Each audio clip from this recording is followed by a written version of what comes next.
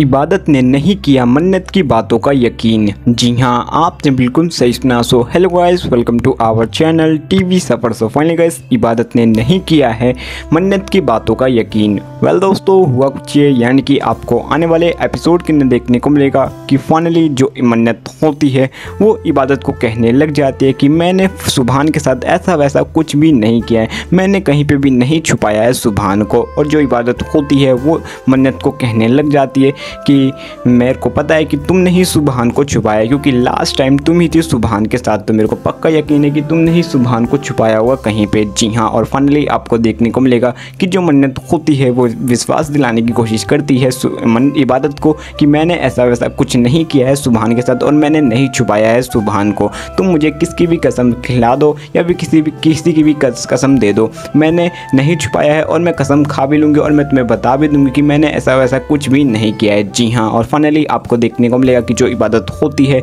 वो मन्नत की बातों का बिल्कुल भी यकीन नहीं करती है। पहले उसको यकीन ही नहीं होता है मन्नत की बातों का, और कहने लग जाती है कि मुझे पता है कि तुम कितनी बड़ी झूठी हो, और मैं तुम्हारी बात बिल्कुल भी नहीं मानने वाली हूँ।